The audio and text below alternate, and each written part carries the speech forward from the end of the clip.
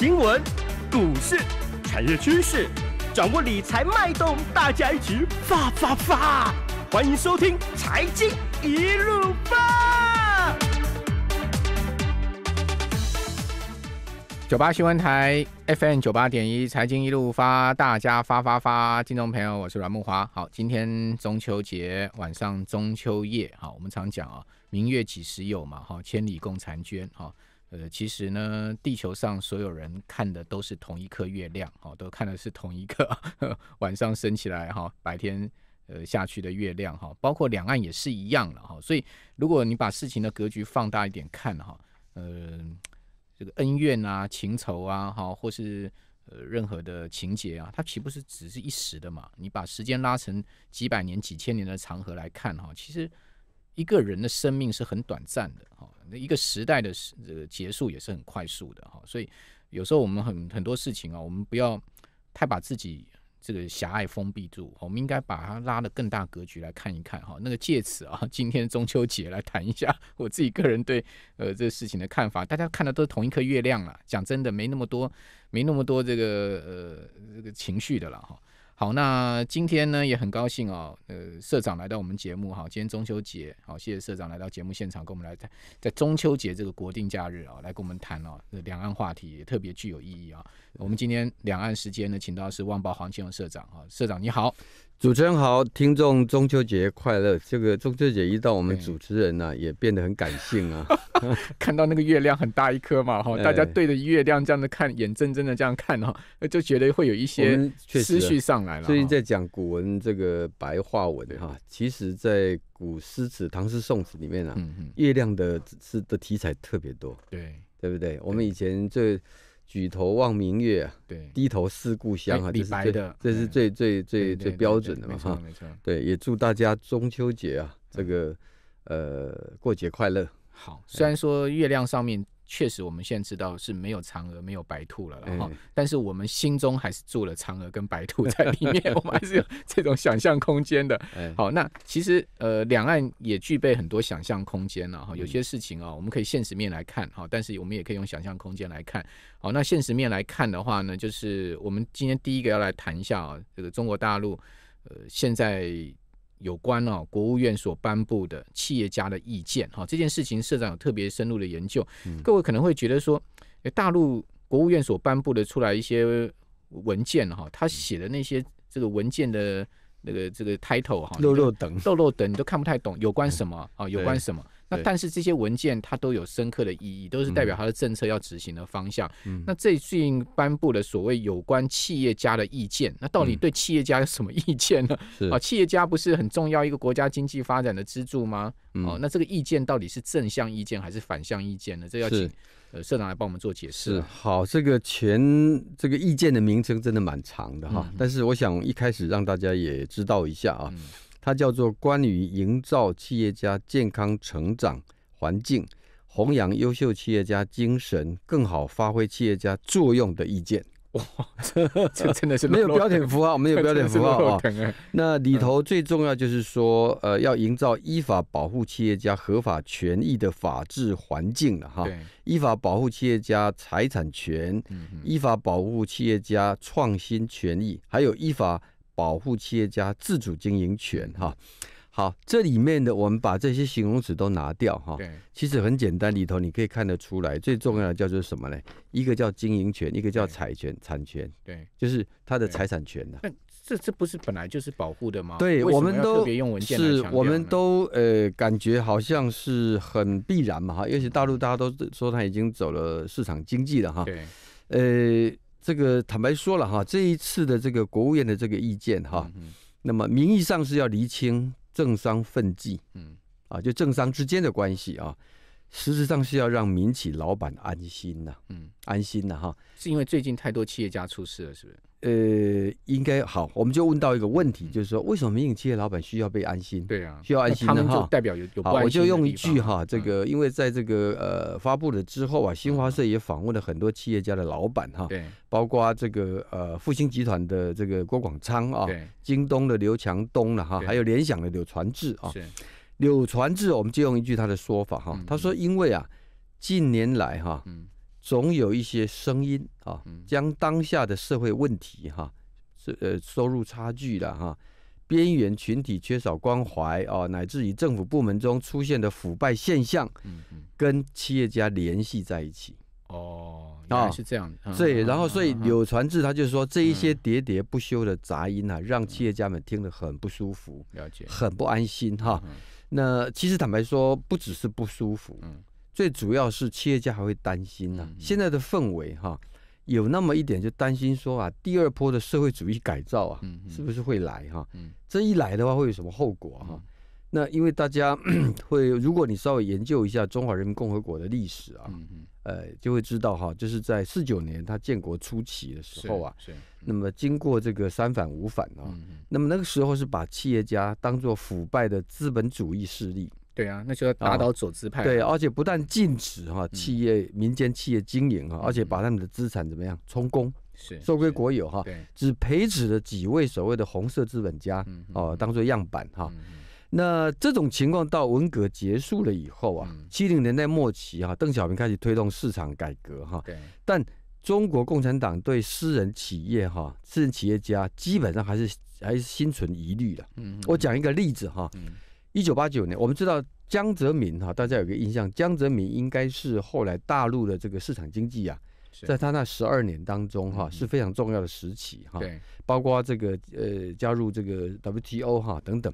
但一九八九年，江泽民刚刚从上海到北京来接任总书记，没有几个月哈，他当时怎么讲民营企业家的哈？他说啊，这就是一批欺骗、贪污、贿赂跟逃税的商贩。他是用这样来形容，那你可以反映出当时的整个社会的氛围。对，啊，因为你知道，在大陆那几十年的那个那个影响之下啊，那么以前已经把企业或者说企业家跟资本家连在一起。是啊，那利资本家就是剥削劳工大劳苦大众，哦，吸的吸人民的血，哦，是这样的一种一种一种印象啊。奸商无奸不商，对，一直到什么时候啊？一直到一九九二年邓小平南巡呢，那么才把党内最极端的意识形态的障碍给瓦解掉。哦，这九二年哈，所以你看两千零一年哈。呃，七月那时候，江泽民就提出了三个代表嘛，啊，三个代表现在也进入到中共的党章啊。那三个代表就是里头最重要就是允许企业家入党哈。那这个当然目的是要，因为中国的民企越来越发达了嘛哈，那么要扩大中共的社会基础了哈。你原来是一个工农兵的革命政党嘛，那现在就是变成要涵盖社会各个阶层的全民政党哦，是一个这么味道哈。但是即使江泽民当时推了三个代表的时候啊。党内的保守势力还是极力反对的，是，所以其实从三个代表之后啊，这十几年下来哈，中共对企业家的收放哈，嗯，也是在摸着石头过河，嗯，坦白讲啊，你看到他一方面啊要鼓励啊私人企业啊，因为这个可以促进经济发展，对，可以增加就业啊，对，但是当企业如果过大，民营企业过大的时候啊。就会严格给他管束，了解，啊，对不对？然后呢，一方面他拉拢企业家入党，鼓励他们入党哈。但是对于不听话的企业啊，嗯嗯，哦，就所谓违逆党意啊，我们看到这几年下来，已经有一些企业家喜欢谈维权呐，谈什么的那些的东西哈，就一个一个被，而且像胡润啊，嗯，胡润那个那个首富啊，对，大概十个都有八个都坐牢了哈，所以。进入到胡润那个首富排行榜里面都不是好事啊。对，然后这里面有一个，我觉得对大陆来讲，它的一个企业环境非常特殊的地方啊，就是，呃，这个政府哈，它是支持啊这个财产权哈，因为不会造成问题的哈。但是对于公司啊、资产啊、土地所有权啊，它基本上是模糊的。这里面包括什么呢？包括你所拥有的这个房子哈，说土地不是属于你的，使用权是你的，使用权这一块它可以当做财产权。可是所有权是另外一回事，嗯啊，二十年呢、三十年、四十年不知道，这是个人哈。对企业来讲，那就是另外一个，就是公司到底怎么去分计哈，就是一个问题了哈。好，那这样的一个模糊的状态哈，那么我刚讲到说，因为大陆社会啊，毕竟从四九年之后啊，有一种长期的阶级意识的灌输哈，对，所以他很难摆脱说资本家等于剥削。哦，这样子的这个完全洗完全清洗掉这种想法哈，那你这几年贫富不均又加剧啊，那所以呢，而且很多民营企业家啊，这个很高调啊，炫富啊，哈，那就引起了另外一种仇富的心态。当然，仇富全世界都有了哈，对。但是大陆那个情况更严重，是因为他的党的建建党建国的基础啊，是建立在什么？建立在工农群众的公平性啊，没错。这个角度出来，他更加的这种突出哈。所以民营企业家被批评的声浪就很大啊啊，也因为中国企业啊这种公有跟私营哈之间的混淆不清哈，所以你知道。欧盟到现在还不承认它是市场经济国家，跟这个背景有关哈。那一二年习近平上台了以后啊，现在大力整顿这个官风啊，而且这个可以说把反腐运动推到了极致了哈。那有也有不少企业家被调查，我们都知道郭广昌曾经失踪了两个礼拜，没错哦。然后又有 前不久我们讲的又是平安系统的什么人，明天系的什么肖建华哈等等这些情况哈。呃，这里面其实有反映出来，习近平啊，对于过去若干年以来大陆存在已久的这种政商的关系哈，他是不以为然的。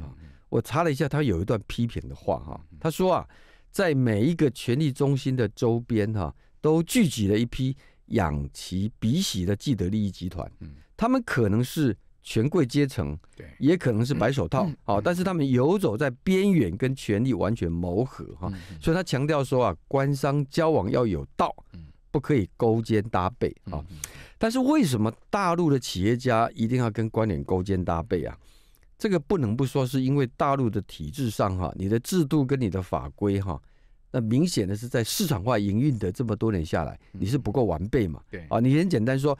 如果木华你是民企来往这大陆刚开始发展的时候啊，那你如果要得到经营的条件、经营的便利哈，那你不去主动或被动跟官员来往，对，甚至说就所谓的灰色交易啦、利益输送啊哈，那你你根本不可能做生意啊，这大家都知道，这也不是秘密啊。那好了，那现在呢这一套行之多年的政商的这种关系的模式哈。现在因为反腐深入深入化，而且现在讲究要政治规矩啊，官员也不敢了哈。那你现在已经行不通了哈。行不通了之后，我们就看到大陆出现一个现象，特别是从二零一四年以后啊，大量的资金外逃、外流哈。我有一个统计啊，从二零一四年的六月到今年的一月哈，中国的外汇储备哈下降了一兆美元，是呃一万亿啊，一万亿美元哈。那几乎等于是他原来的这个美元的外汇储备啊，哈，几乎去掉快三分之一。这到最近才稳住了，最近才稳住。最近这几个月稳住。对，最近为什么能够稳住？是因为当局也发现了这个问题严重哦。然后呢，呃，一个是用想方设法把一些灰色的渠道把它堵塞掉，或者是软硬管控也加，或者软硬兼施的要一些企业把资金调回来。是好，但是呢，在这个过程中啊，一个最大的问题还是放在心里头，就是什么？企业家怎么办？嗯，企业家就是说，他的这个心没办法安定，对，没办法安定呢，会影响什么？影响投资啊。对，我今天就算我原来是想办法，如果实在不行，我就赶快把钱移出去。那今天好，我今天钱没办法移出去，嗯，但我还是不安定啊，不安定，我就不太可能安心下来创业，是安心下来来进行哈。所以我想也是这样的一个背景之下啊，那么现在应该说北京当局啊，现在已经体认到了哈。呃，经过官场风气的盘整哈，那么现在需要的就是一个当然法治要强调要出来哈，那另外呢就是政商的分际哈，如果把它理清楚哈，你企业家你只要政府把它妥善管理啊，那么这个不要失去的这种失控的情况哈，其实对社会主义并没有伤害。他原来最担心的就是说，对企业的过度的扶持啊，会引起说对你社会主义的根本性的挑战呢。对，啊，对不对？但是他现在发现，因为你很简单，你经济还是要发展，你经济要发展，你不能让企业家都裹足不前呐，对不对？所以呢，变成说啊，国务院颁布这个文件哈，叫做保护企业家的财产权啊，就会变成对企业家来讲是一个护身符了，棒子胡萝卜，嘿。棒子胡萝卜，你讲的太有道理了哈！一方面是让大家顾虑跟忧虑要消除掉，但是呢，政府的这个动作其实没有停止哈，因为现在大陆企业、大陆的政府哈，现在越来越要求，包括说要求民营企业里面要建立党的组织，对，哦，党的组织我们讲过啊，然后这几最近今年来有一个最有趣的一个现象哈，就是说。对于那种科技网络啊，啊，已经大到不能够不能够不重视啊。那么，但是又很担心呐，它可能会失控。所以最近有很多的非常特殊的一些做法出来，一些实名制啊，这个都是在加强管控嘛。哈，其实其实市长讲这个太有道理。我我前一阵子大概几个礼拜前看到一张照片哈，我还觉得这张照片怎么会流出来？就是。马云呐，阿里巴巴的老板呢，这个中国大陆的身价最高的人呢。对，你知道他在干嘛吗？他就一张桌子哈，那就吃个泡面，然后前面就两碟小菜，一碟是那个呃蒜头，另外一个是酱瓜，然后就在吃泡面，然后头头低低的吃泡面。然后他那个照片拍的角度就是说旁边有一个人帮他特别拍的。那后来证明这个人是谁呢？这个人是阿里巴巴企业里面某个。呃，下肢企业的副总裁了哈，就是说，哎，你看我帮这个马云拍了一张照片，你看马云在吃这个泡面，是，就后来就传出来说，马云说我有那么多钱有什么用啊？我都没，我有钱我没时间花，所以我的中午都是吃泡面的啊。我就想纳闷了，就马云他们不可能随便流出这种照片，那这个他的员员工也没这么胆大，敢把老板的照片这样随便乱泼，一定有目的。但是我那时候还想不出他们到底是什么顾虑。哎，今天社长一讲这个，我知道了。啊，也就是说呢，他在表态了，就说，我做一一个首富有钱人又怎么样呢？我还不是苦干实干在经营企业，我没时间去花钱了，所以你们不要羡慕我。对，我并不你生活，不不不你不并不比你生活过得好。所以就刚刚社长就讲说，这个照片是有深意的，所以各位你不要小看了，中国大陆这些大老板做的每个动作都有意义的。嗯，哦，这个照片出来的话，我现在才才了解。另外，刚刚讲那个红色资本家龙毅人、霍英东，嗯，你看他们为什么会变成红色资本家？因为他们在呃共产党呃见证初期的时候，就把他们所有身家全部捐出来了嘛，捐给国家嘛。我的家财万贯都是国家的嘛。是哦，所以这个也是同样意义的嘛。是是这样子。那现在呃，就说应该这样讲说哈，大陆这一次国务院颁布了这个管理企业家的文件哈。他试图就是说，因为这一波的反贪腐之后啊，哈，一方面政府体系开始出现这个懒政怠政的一个情况，是啊，因为官员变成说不做不错，呃，不积极哈。然后呢，对企业家来讲也出现了寒蝉效应。可是下一波哈，已经很多人讲十九大过后，不管。上层的人是怎么样？嗯，习近平一定有一个很大的目标，是经济一定要往前推进。对啊，因为下五个年经济是他的重要成绩。那你经济要往前推进，你不能不靠民企哈是的积极性啊，对，来配合。一个一方面政府的调子，你比如说这个中国制造二零二五，这是政府要定政策，要给政策鼓励了哈。但你也得这个呃民营企业有一个蓬勃发展的环境啊，嗯，才可以啊。所以我刚刚讲到说安心哈，是这个道理了。嗯。那另外有一个哈，就是现在大陆在推行的哈，就是公民营的混合制啊，嗯啊，混改制，混改制哈。那这个混改制哈，在在我来看，混改制背后生意也很大。这所表表面叫公民营混合，但事实上它骨子里面是民营企业要入股到国营事业里面去。对，但是呢，主控权还是在国营事业手里面。是这个就让我想到了说，哪有一个民营老板愿意做这个事啊？因为说我今天花钱入到。这股票入到呃资资本入到这个国营企业里去，但是我没主控权，那我搞搞这个干嘛？这里头确实有一些很很具体有代表性的 case 哈，很大的哦，都很大公司。你对对，你比如说这个呃网络科技好了哈，网络科技这里面啊，像最近就是要求四大网络科技企业哈，要跟四大国有银行结盟啊。嗯。呃，我记得大概是阿里巴巴。呃，这个腾讯、京东跟百度啊，然后就包括中行、建行、工行、农行啊，互相都有一个队了，一组一组哈。那他的理由哈是说要让这个大数据哈，让人工智能啊能够进入到这些国有银行体系啊，让他们能够快速的迎向这个所谓的数位时代哈。那恐怕其实 远远不止这样子哈。因为我们知道哈，刚讲的这几个科技网络科技公司啊，那么他们的这个呃呃这几年像支付宝哈，对，其实已经造成了实体银行的资金流向大量的枯竭。对啊，甚至甚至啊呃腾讯都自己有开银行啊，他自己开了一个。可是问题是说，一方面实体银行的这个资金的流动枯竭哈，对，会造成什么呢？造成失业的问题。嗯嗯，哦，这是一个。关键是这个支付宝这一头哈，有很多的等于说政府官方啊是没有办法掌握它的资金的流向，嗯，什么人汇给什么人，而且它有一些额度哈，之前放的很宽嘛，哦，甚至到上百万的都可以哈。对，那就等一个是提供的洗钱的管道，对，啊，一个东西最主要是当有一些这所谓金融犯罪啊，乃至于哈所谓的如果跟这个公安啊沾上边的事情的话，政府都无从掌握，像像瞎了眼一样，嗯，啊，所以呢，等于是说基于这样子一个情况，要把他们坐在一起，嗯，坐在一起，一个是。国等于说，就就我刚讲的，大陆的公营跟私营的分际哈，搞不清楚啊。你现在这样子加来，比比如说这个呃，工行将来有阿里巴巴的股份，嗯，但是你讲到重点呢，工行国有还是占最大的比重，对啊。其实从纯投资的角度，我不觉得阿里巴巴会是很乐意的。好。对啊，因为你投资嘛，当然大家都希望有主控性嘛。如果说没有人主控权的话，我投资到底我投资的目的是什么？是啊，我是被逼上梁山，还是说我我我是不得不表态呢？好，我们这边先进广告，等下回到节目现场。九八新闻台 FM 九八点一财经一路发，我是阮木华。好，所以怪不得哈，最近呃李克强总理啊声音比较小哈，就是说在把民营企业做大做强这件事情，我记得。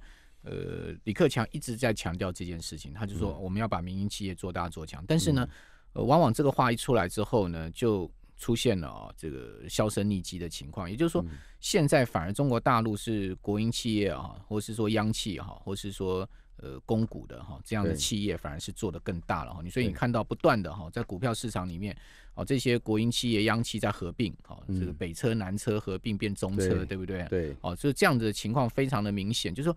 越整病越大了哈，反而不是说把他们啊这个民营化，或是说呃把他们打散哈。像你看英国当年呢，是呃柴契尔夫人，她最有名的就是把国营企业民营化嘛。后来台湾也学了这些事情嘛，就是把中钢啊哦这些国营企业全部民营化，中船哦现在就变台船了嘛。嗯哦那但是呢呃中国大陆似乎不是在走这一套，中国大陆是在。反而是啊，这把国营事业做得更大哦，央企做得更大哦，然后呢，现在又要叫民营的这些企业入股到国营企业里面去。那入股国营企业呢，你又没有主控权哦，那这个它其后面的呃动机跟呃作用到底是什么？对，其实一般我想所有的这个不同的国家社会的一个经验总结哈，通常国营事业的效率一定比较低啦，是公家饭嘛？是公家饭。我举个例子哈。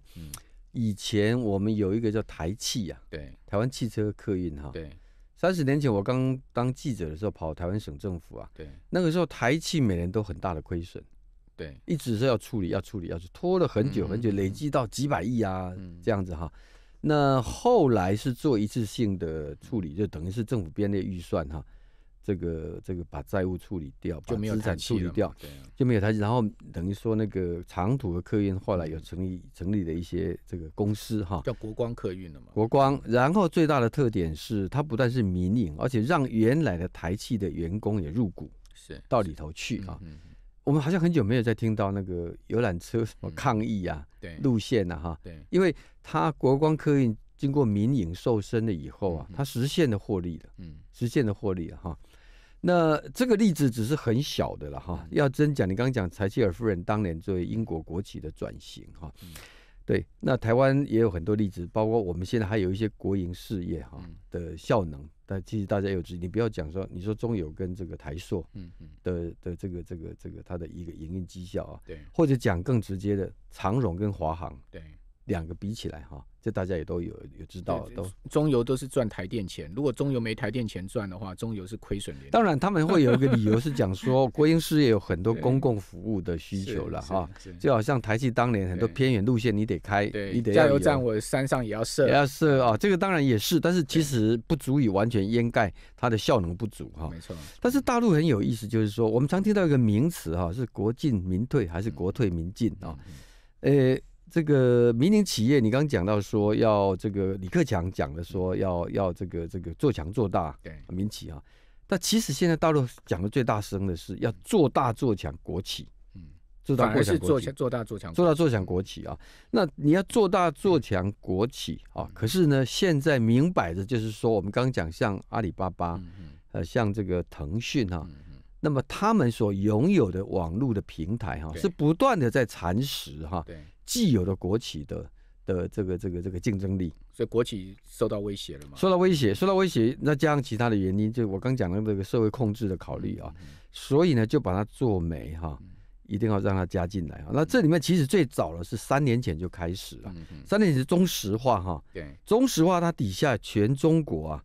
有不晓得多少个加油站，嗯，好，所以当时啊就说啊，因为当时在混改制哈，哦，这个喊得很大声哈，那他们就呃也是政府出面，就不让腾讯啊、复兴、海尔哈这些民企哈，那么能够入股到它里头去啊，他是希望用腾讯的流动的城市啦、复兴的物流哈、海尔的家电哈，能够让传统的加油站变成新零售的先驱啊，啊，三年下来了哈，听说效果并不好。是，经过跳不好，这是一个啊。那刚我们讲到了这个呃四大国有银行跟四大网络科技的结盟啊，然后最新的就是联通哈，联通的这个它是引引入战略投资者也是都是阿里巴巴、腾讯、百度、京东哈。那么就是希望让百度的搜寻引擎了哈，阿里的支付宝啦，腾讯的微信哈，跟京东的这种电商啊，那么可以让联通哈。我们知道大陆现在除了联通以外，就是中国移动嘛，哈。那么，呃，它的电讯业务希望能够把它这个转型、提升哈。那呃，但是诚如你刚才讲到的一个大问题哈，今天如果说啊，这些民营企业，那么都是从一个有效跟有利润投资的角度的评估的话啊。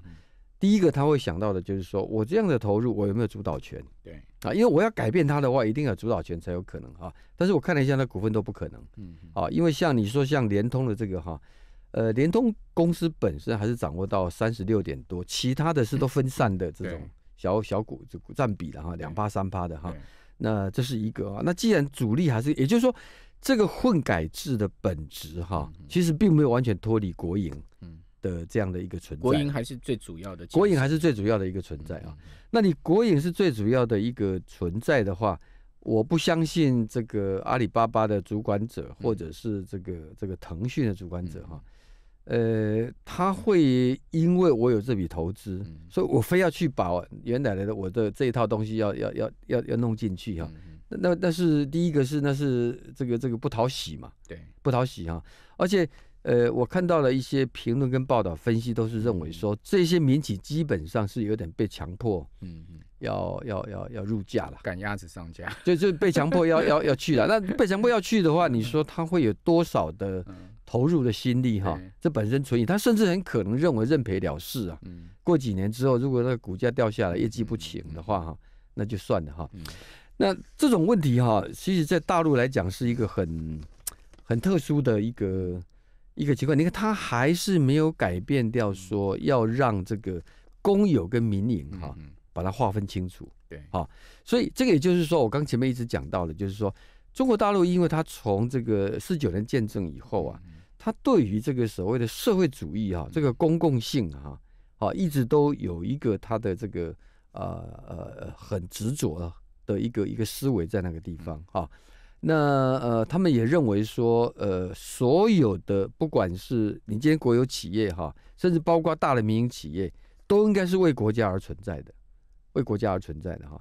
那那尽管哈，从个人的私欲私利来讲的话，那么一定要满足我拥有财产权的保障，那么经营权的这个开放啊，那么我才会积极投入，这个叫做调这个调动积极性哈，调动积极性啊。那改革开放。跟未改革开放之前最大的差别就在这里哈，可是调动积极性出来了之后啊，当企业越来越大啊，那企业越来越大也必然，而且呢才有它的规模效应，嗯，才能够在不管是国内的呃这个发展，还是在国际上的竞争哈，你才有那个条件嘛，啊，对不对？所以有一段时间大陆是非常喜欢讲哈，这个全世界的企业排名哈。中国企业排到哪里？啊，前五百大啊，这个日本有几家，中国有几家啊？喜欢讲这些东西哈。哎，可是问题一碰到说，那这个企业到底是真正的民企，还是说呢？又好像你说这个这个全世界的银行的排行，中国的几家 银行都排在很前面啊。可是呢，中国这些银行你会发现一个现象，它几乎走不开中国。嗯，哦，你说。我们讲花旗，我们讲什么荷兰的银行了哈，那它是全世界到处都有啊。可是中国的国企之银行、国有银行之所以在全世界排名哈，是在前几名的，是因为它就是十四亿人的市场撑托住它嘛？它就是只有在中国大陆而已，而且它也没有开放民营，它并不是一个全球化企业，它不是一个民营全球化。好，现在不得了，现在居然在这样的保护情况之下，又来一个网络科技，支付宝什么什么什么，呃，这个宝那个宝，天天在挖它的墙角。而而且这些民营企业，没呃，中国大陆的科技巨头，才能才是真正现在要变成全球化企业的。呃，主要的标杆呢？对，这个就很讽刺了，对不对？而且，但是这里头还有一个非常敏感。你看，我记得马云讲过哈，就是说将来应该要建立一个 IT 联合国。嗯嗯，IT 联合国哈，那他不是也讲说吗？这个阿里巴巴什么时候要变成全世界第五大经济体？哦，这个话讲的很很。哎，这个话让人家觉得很敏感哦。对啊，对啊，好像最近开始要吃泡面嘛。好像这个跨国企 业啊，那么就是说企业一大了之后啊，其实。阿里巴巴本来就是跨国际性的，对啊，对不对？那个持股很多都都不是呃大陆的嘛，哈。软银跟那个雅雅雅对对雅虎对是主体嘛，哈。好，那那在这种情况这个这个这个这个底下的话呢，你可以想见哈，以中国共产党的本质啊，他对于这个组织哈的存在哈，他有很极度的敏敏感，嗯嗯啊，呃没有错，马云啊，这个腾讯啊，经这这些。经常也跟网信办呐，跟国务院的哈，也都非常的那个，而且都配合国家啊。今天习近平要出去，他们就跟着在后面哈，也帮国家撑场面嘛哈，也都很很很应该说跟着主旋律在走了哈。但是就是不放心呐，就是不放心呐哈。你那你比如说刚讲你支付宝弄了半天，到底这些资金流向是怎么回事？那我不能不掌握啊。那你说你的这个这个国际上的你的连结的关系？是怎么样子哈？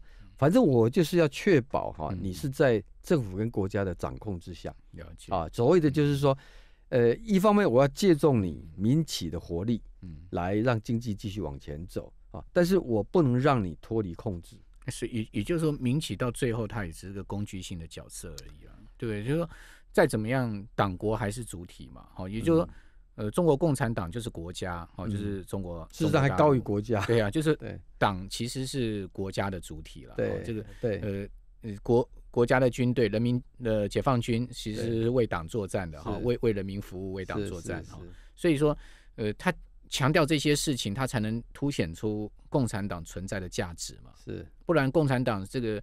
这个党经过时间的的变换，哦，对，然后经过这么多就庸俗化了，对，然后那这个党的党的价值跟精神是什么呢？那习近平上台之后非常强调这一块嘛，就要把党的价值跟精神找回来，不然他就他一再强调啊，这个亡党亡国是有可能的事情啊，那就必须规范啊，必须管理啊，但是规范管理的时候又不能让这个官员的懒政怠政跟企业界的不安哈。造成很大的一个问题啊，所以必须要有这一些措施出来。好，但是在这些措施呃里面，还还是存在了许多矛盾的哈。这个矛盾恐怕也还是需要去做呃某种情况的处理跟化解。好，我们这边先听一下广告，等下回到节目现场。九八新闻台 FM 九八点一财经一路发，我是阮木华。好，我们今天最后一段哈，社长要跟大家讲说，中国大陆的第一大帮，好，大陆的第一大帮呢，不是丐帮哦，大家不要以为说是丐帮哦，这个打狗棍现在已经没有了，没有什么七代八代弟子这回事啊，呃，中国大陆的第一大帮啊，是说货车帮啊，对，啊，这个蛮有趣的，这他。这货车帮到底是什么个帮派组织啊？我们知道哈，大陆如果你要讲这个人的组织哈，当然最大是中国共产党了哈。这个最近统计出来有大概将近九千万人哈，嗯，这是一个最大的组织的一个力量啊。对。那但是除了这个以外啊，就行业别来讲哈，那么呃，我看到大陆媒体的一个一个报道很有趣哈。他就是说，这个货车帮啊，啊，货车帮是全大陆第一大帮啊。当然，它不叫帮派啊，帮是我们一个形容的哈，就是这个产业这个行业啊。那它有多这个货车帮哈，它有多少的这个成员呢？有三百七十万辆的货车，哇，三百七十万辆货车，不得了。好，那就很有趣的哈，因为这个跟为什么会有这么样的一个啊？因为全有一个统计，在中国大陆全部的货车哈。也大概就是差不多八百万辆，嗯，啊，八百八百万辆哈，那呃三百七十万辆等于差不多占一半，嗯，哦，所以它的确称得上是一个这天下第一帮哈，嗯嗯，那为什么它会发展出这种规模哈？这个当然跟大陆这个电子商务啊是有关系的。物流越来越物流物流对，就是物流哈。那本来哈，那但很有趣是这一个呃公司哈，它非常低调啊，平常媒体上并不轻易露面啊。嗯。但是他总部设在哪里呢？他设在贵阳。嗯。哎，你会觉得贵阳不是地无三里平的地方吗？对啊，好，但是我讲它是总部，贵州的省。它的货车哈是散布在全中国，嗯嗯，全中国哈。那原来这一家的这个 CEO 叫戴文健哈，嗯嗯，呃，他是在原来在四川开始发展。嗯，其实中国的这个货车的物流哈。最早发达发展起来是是珠三角了，是。啊，珠三角，因为我们知道，像珠三角是最早做制造业哈，跟这个代工啊哈，对。这个产业的这一块，深圳、广州，那这个都需要运输嘛，所以广州到现在也还是呃大陆非常重要的这个物流的一个中心哈的的的一个情况啊。可是他为什么搬到贵阳去啊？对，跟大数据有关。哦，大数据啊，因为这家公司的总部哈，它设在贵阳哈。那全中国大陆的大数据的中心也设在贵阳，他们是利用大数据的技术哈，然后开发出那个手机的 APP 的平台啊，把这个散布在全中国各地的这些货车哈，集中一个调度的一个一个中心来安排车队啊，穿梭在全国各个地方的一个货运，啊，所以有人把它称说它是中国货车界的 Uber，嗯。货车界的的 Uber 哈，就这大这个是货车的车队四百万辆车的这个大脑在贵阳指挥这个车队叫出这蚂蚁雄兵。你说你看嘛，呃，不是每一次双十一啦，或者是哪一这个又是这个节那个节哈，然后这个电子商务的每年的成长的那么快，哎，那东西要有人送啊，没错，啊送我们都以为只我们都会想到的是说，哎，那不是那些骑小摩的呀。嗯哦，街上这戴戴个红帽子，背个包子那些人，问题是那个货你得从甲地到乙地啊，对，你还是要有货车。那个骑摩托车它是最后一里，它最后一里，对对。但是你整整个中国大陆内地这么大的幅员的要运输，其实它还是要靠货车。那就是靠这一个货车，这个大车队，这个大车队啊，这个大车队。那呃，这个大车队从它建立了之后啊。那么一直都有受到大陆的领导人哈相对的重，他在这个贵阳的这个他的总部啊，包括习近平跟李克强哈去这个访问的时候啊，去贵阳的时候都特别去参观哦哦，都特别去参观哈。哇，这国家级领导人不一样。对，甚至二零一五年的时候，这个戴文健哈还亲自向习近平来汇报，是来做汇报哈。那我觉得这里头有很多的意涵呢哈。这其中一个当然就是说呃。你想想看啊，一个人哈，或者一家公司啊，如果手上有个四百万辆货车啊，在手上啊，这也是蛮可怕的一个力量，对不对？这也是帮助啊。我们我们不是讲以前我们的自行车啊，以前有人在抗议政府的时候，那个车队集结个几百辆啊，就不得了，对不对？对瘫痪掉凯达格兰大道了。对，好，所以呢，变成说啊，当国家领导人重视他，对某个角度来看，也等于是这一家公司啊，向政府交了心嘛。嗯。我这个是来作为完全配合政府的政策、产业的发展，嗯啊，不会变成是一个失控的一个体系，啊，应该说是这样子的一个概念啊，对。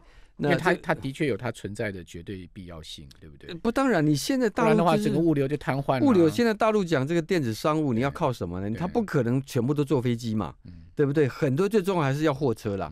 货车还是主体啦，啊，高速公路上，而且你因为有一个大数据了之后啊，你可以让什么呢？它的还有一个很大的作用，就是它的物流的这种呃，包括它的敏速度跟这种效能哈，可以提升。我本来比如说甲地乙地哈，那我可能是从丙地运到甲地去更好，因为有一个大数据嘛。可以这样算出来，所以他们有一个统计，还算出来说，因为有这样的一个呃中国第一大帮的运作，大数据的运作，每年省下了多少碳排放？对，跟空气污染，对，哦的一个一个，而且让油啊，包括也就是说，你要支撑这么大的一个物流来发展经济，那因为有这个公司的存在啊，包括这个这个油耗量。耗油量跟这个这个这个碳排放啊，都得到有效的一个改善。对啊，而且阿里巴巴都号称二十四小时到货啊。哎，对啊，中国大陆这么大，你这二十四小时怎么？所以你可以想见，你今天比如说，呃，你从这个你从湖北哈，对，你去订一个广东的公司的东西，是，那这个他们的他一定有好几个这个这个他的协协力厂商嘛哈。那定了之后，你不太可能会从真正从广东运过去，嗯，你可能会去算一下，统计一下这个产品在什么地方也有，嗯，好，然后再做整个的包。也就是说啊，我们对于电子商务的物流哈，大家有个印象是一个好大的仓库，一堆人在那边捡哈，丢丢丢丢。但其实不管是丢过来还是要运过去啊，就是要货车嘛，嗯，哦，这就是这个第一大帮它所扮演的一个功能，嗯，哦，这样子是一个很特殊的在大陆现在的经济环境底下，所形成的。哈，那呃，今天为什么会讲到这个事情？是因为我们今天提到中国跟政府跟企业家的关系啊，啊，这又是另外一个一个很有趣的例子了。就是对啊，因为因为第一个，当然，我我我想中国大陆政府对。这个货车帮一定也有戒心了，就像社长说讲的，这你组织这么庞大嘛，哈，车队这么大，哈，对，呃，一旦说这呃这个组织发生了什么问题的话，那它影响到民生，好，影响到社会安定，好，影响到各个层面，哈，非常巨大，嗯，所以说怎么样严密的掌控它，会是。我我想从政府角度来思考的这种，我想作为他们做，但是你又不能不能不能不让他运作，你又不能不承正视跟承认它存在当然当然也会给像他这样的表态哈，政府当然也会给你好处了。对啊，比如说呃银行的贷款，嗯嗯啊或者其他的这一些，甚至你哎三百多万辆货车，如果要对他所属的司机啊哈，这也是一个庞大的非常庞大的一个呃这个这个供应链呐跟产业嘛。而且对像阿里巴巴这些。企业来讲哦，这个货车也太重要了。嗯，你说阿里巴巴没错，你是电子商务的龙头。嗯，但是你毕竟你它不生产东西，对啊，你物流还是要，他也不搞物流啊，他不他是借助是协力厂商嘛。他的物流他是数据库了，对啦，他是他是做资讯的物流，但是啊，你实体的物流你还是要靠这些货车，好这些搬货的人好来帮你做这些事情嘛。所以你看。呃，马云也向奥巴马介绍货车帮。对，二零一五年的在 APEC，在北京的那个 APEC 会议上啊，他也也，而且他们其实也把腾讯跟阿里巴巴哈，对，也都哎，我现在发现最近像大大陆的材料，我发现动不动就会看到阿里巴巴，动不动就看到腾讯，对，好像每一家这个百度，百度这三家，三家，京东有时候加上京东，哎，都都会放进来，对，所以这是一个很很很很特殊、很有趣的一个现象。所以这四家企业也要严密监管啊。呃，他们其实也都跟你看最近这一波十九大哈，要整理这个包括所谓的这个呃情色的内容哈，呃或者说这个呃这个这个这个有不同的政治的的这个所谓的遇鬼的言论呢哈，那这几个都变成一个首当其冲，像腾讯的。的这个他的一个这个微信哈，现在做了很多的要求哈，那甚至包括我上次有讲过，说这个群主啊，要为这个群友们的言论负起责任，嗯，负起这个筛选的责任、管理的责任。谁还谁还敢当群主？你下面下面几几百个群友随便讲的话，十月开始之后，现在大家在微信上的这个内容啊，是是要要要要稍微注意一点，嗯，要稍微注意一点，对，那。这个都反映出来哈，我就说具细而而为了哈，具具体而为可以看得出来哈，它对于这个超级庞大的这个呃网络科技企企业哈，的确是有一定的这种呃不放心哈。那这个不放心跟我前面刚讲的一样嘛哈，就是说呃振兴私人企业来提高就业率，但是当企业过度膨胀过大的时候，就要严格管束。嗯，严格管。我想道理是一样的。这个反映终结回来，又回到我们今天开始谈的哈，就是。中国，然后中华人民共和国或者中国共产党跟企业家的关系啊，那它永远是一个不断的在变动的啊，对，呃的一个情况的一个存在。这好像也跟共产党的本质是一样嘛，就左右两条路线嘛，就是呃有有时候左倾，有时候向右一点哈。那这个反正就是在这两条路线里面呢，去找出啊。哦，他的中庸之道有时候会变动，像以前邓小平最有一句话，就是说打左灯向右转嘛。对呀，哎，打左灯向右转啊，看起来是要往左，而事实上最后是往右。对啊，可是呢，你走久了以后，他又要把你扭回来。扭回来，看起来目前大概就处于扭回来的阶段。好，非常谢谢旺报黄庆荣社长啊，今天帮我们在中秋节带来的呃两岸的专题，谢谢社长，谢谢，谢谢，拜拜。